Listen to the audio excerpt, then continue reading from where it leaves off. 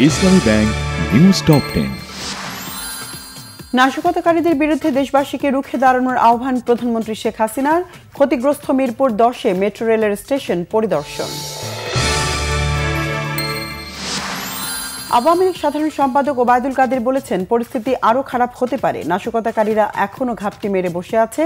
গুলি না করে ধৈর্যের পরিচয় দিয়েছে পুলিশ বললেন স্বরাষ্ট্রমন্ত্রী।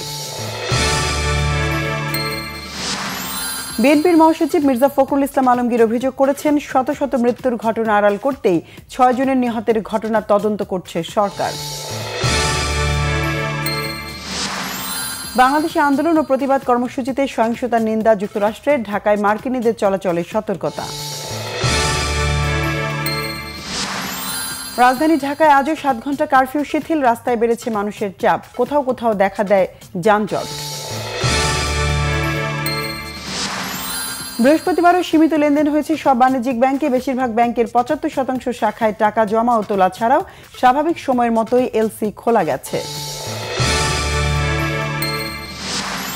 নৌবাহিনী প্রধান অ্যাডমিরাল মোহাম্মদ নাজমুল হাসান বলেছেন, দুর্বৃত্তদের কারণে দেশের আইন শৃঙ্খলা অবনতি হয়েছিল, ক্ষতির মুখে পড়েছিল মংলা বন্দর, চট্টগ্রাম বন্দর ও পায়রা বন্দর।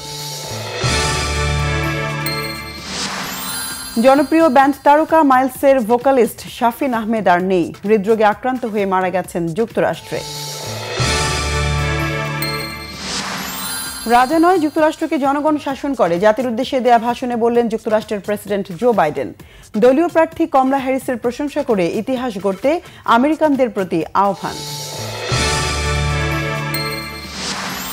দীর্ঘ নয় মাস মাঠের বাইরে থাকার পর ভক্তদের আশার আলো দেখাতে শুরু করেছেন নেইমার। পুরোদমে অনুশীলন শুরু করেছেন ব্রাজিলিয়ান সুপারস্টার।